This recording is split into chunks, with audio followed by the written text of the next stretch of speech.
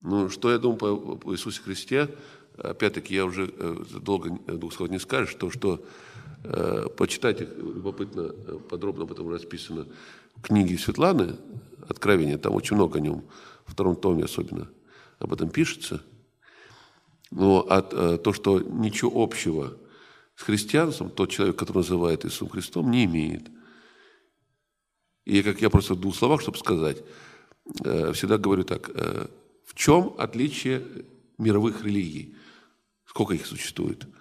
Иудаизм, ну, буддизм не беру, это несколько э, другое, ну, те, которые... Иудаизм, христианство, ислам. Вот три мировые религии такие вот, э, которые мы смотрим. Что их, э, э, какова основа всех трех религий? Одно и то же. Тора. Ну, в одном варианте называется Ветхий Завет, ну, и так далее.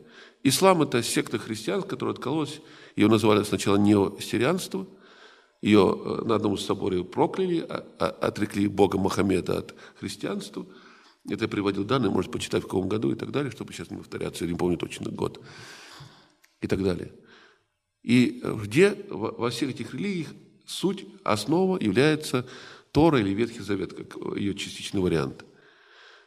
Так вот, теперь скажите – Э, даже в том варианте фальшивки, который дошла до нашей веры, Новый Завет, кое-что осталось от того, что говорил тот, он, который называют Иисусом Христом. Очень мало, но кое-что осталось. Потому что реальный документ, который он... Вот я всегда иногда э, удивлялся логике людей.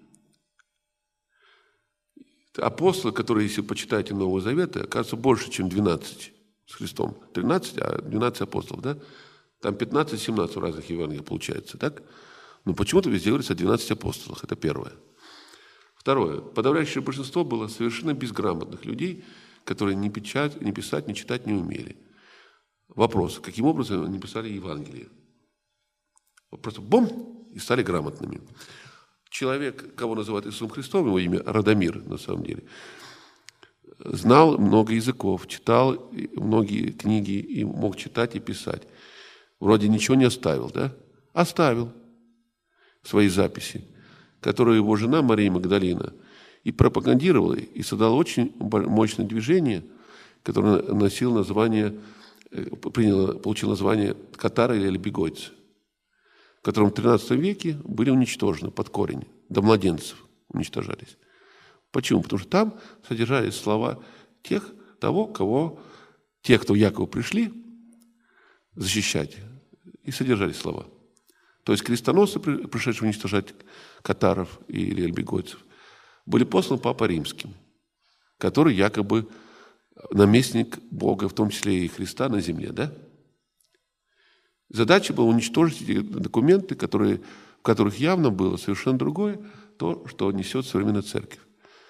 И там то, что Мария Магдалина после э, смерти Христа и его ухода с земли несла людям – действительно трогал очень многих людей, и изменил многих людей и так далее, и так далее, но не дали им это делать дальше. Убили ее, а потом, когда она перестала э, быть живой, так сказать, те, кто остались, много наломали дров не ту сторону, как часто бывает. Так вот, если даже взять такой момент, что признать, что вот, да, Иисус Христос, только мы говорим, он, э, кто читал Новый Завет? Есть такие? Вот рекомендую почитать. Есть, но мало. Вот плохо.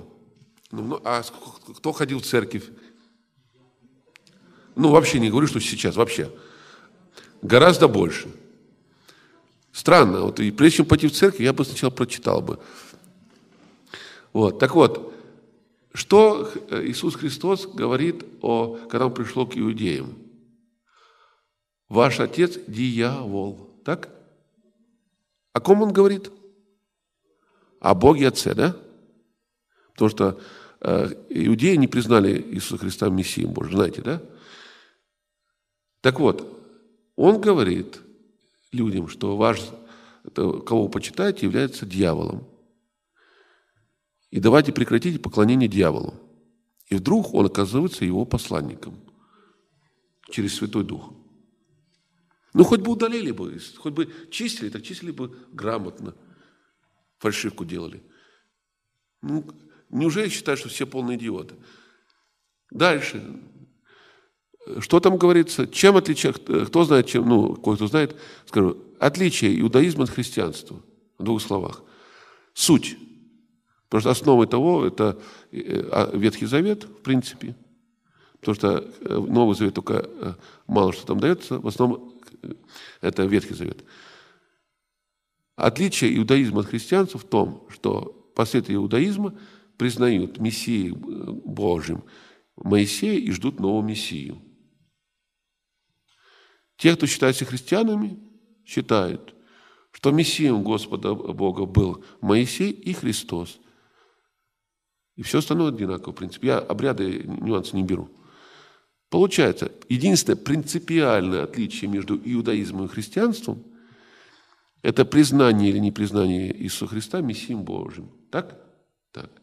А теперь скажите, мог ли он воевать с религией для того, чтобы она признала его Мессием Божьим вторым, даже не первым.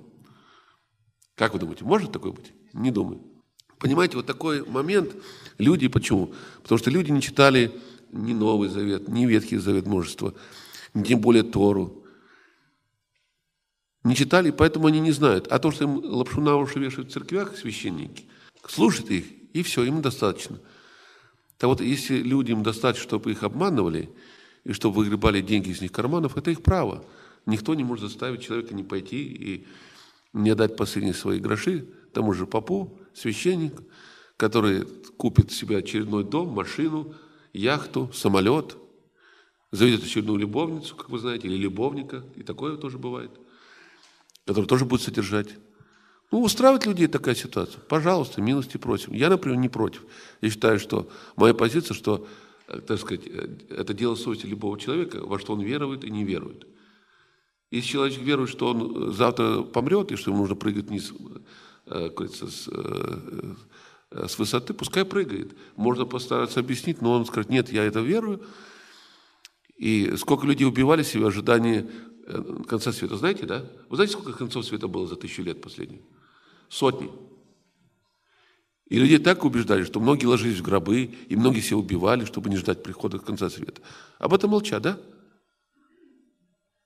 А он не наступает, и наступает. Хотя реальный конец света вызван был другими причинами, мог бы уже наступать несколько раз, по крайней мере, последние 10-15 лет. Следующего. Поэтому, если хотите более подробно, вот э, кое-что у меня написано, в моей автобиографии затрагивает этот вопрос. Кусками там есть моменты, где отклоняюсь от своей биографии и уносит в сторону, так сказать, в историю там, или в политику, ближнюю или дальнюю. И у Светланы во втором томе это очень подробно написано многие вещи. И поймете, кто такой Иисус Христос на самом деле. На самом деле он ничего общего с тем, кого его изображает. Плюс к тому же, как я говорил, иудеи принесли э, в христианский культ, который начинался с культа Азириса, в принципе, назывался сначала культом Азириса, постепенно он менялся и так далее. Вот я просто могу посоветовать людям э, просто экскурс сделать. Это доступная информация, кто желает, тот найдет. Почитать о культе Азириса, о культе, о культе Адониса, Атиса, Дионисия.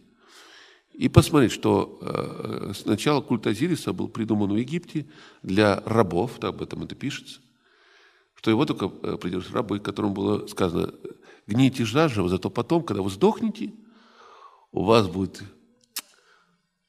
э, берега кисейные, э, реки молочные и так далее. А здесь вы должны терпеть все. Это было придумано